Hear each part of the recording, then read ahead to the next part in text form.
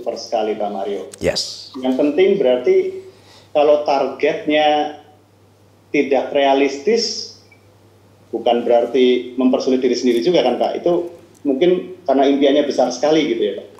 Malah justru semua orang hebat itu tidak masuk akal. Kalau semua orang masuk akal, tidak ada yang mengagetkan dalam kehidupan ini, tidak ada perubahan-perubahan besar. Anak muda yang menginginkan, menginginkan peran yang besar di masyarakat, nggak masuk akal, gitu.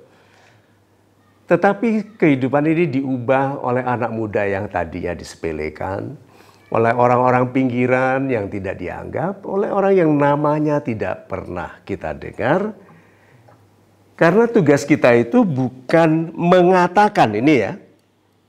Tidak boleh kita mengatakan ke diri sendiri, tidak masuk akal.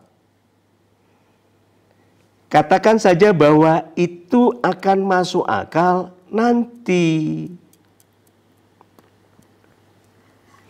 Kalau sudah masuk akal sekarang, semua orang bisa mencapainya. Nah, jadi anak muda yang besar masa depannya selalu keinginannya tidak masuk akal. Tetapi semua yang dilakukannya adalah untuk menjadikan masuk akal. Nah, jadi kalau begitu, itu bukan mempersulit diri, itu menambah beban yang menghebatkan pelari.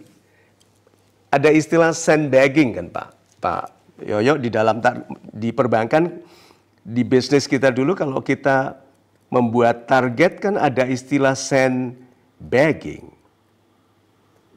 Sandbagging. Targetnya jadi pekerjaannya dibuat berat supaya angkanya low, small, gitu toh. Narrow marketnya itu. Sandbagging itu ini kaki, kaki ditaruh kantung pasir jadi waktu lari berat. Anak buah punya perilaku sandbagging, yaitu memberatkan kakinya. Jadi kalau dikasih target, wah nggak bisa, wah ini ini ini sampai kecil toh. Ini sandbagging namanya, jadi berat. Tetapi kita orang-orang yang tadinya tidak masuk akal itu, tidak masuk akal itu, itu seperti juga melakukan sandbagging tapi untuk dirinya sendiri yaitu setelah dilepas beban di kakinya larinya kenceng sekali. Saya pernah melihat dulu waktu masih eh, anak-anak dulu. Saya melihat di Sungai Porong itu di Mindi, itu eh, kampung kakek saya. Waktu airnya susut, itu pasirnya lebar. Saya lihat ada kuda dilatih dengan kantung pasir diikat di keempat kakinya. Jadi berat begitu tuh. Waktu pertandingan yang sebetulnya dilepas, kencengnya bukan main. Nah itu orang-orang yang sudah biasa punya target-target besar. Sandbagging ada dua arah. Orang yang maunya gampang diberatkan, orang yang maunya hebat, sandbagging ini supaya waktu dilepas jebret hebat.